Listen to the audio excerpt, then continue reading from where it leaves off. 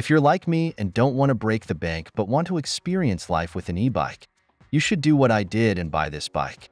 If you're even more like me, I'm sure you've watched the YouTube videos, Cheap Starter e-bikes. Less than $500, then pulled up the links to each of the bikes, scroll to their respective price tags and find that they are $1,000 plus dollars. Now with the economy and all that, I could not afford to break the bank but my 5-plus-year-old bike was rusted to death and had done its job, so I needed an upgrade.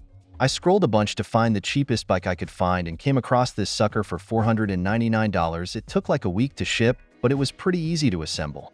The build and its materials don't feel cheap like at all. After a few test rides around my neighborhood, I've determined that the battery is great for the cost.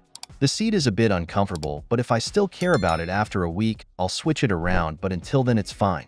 This bike is an absolute steal for the price. Buy it.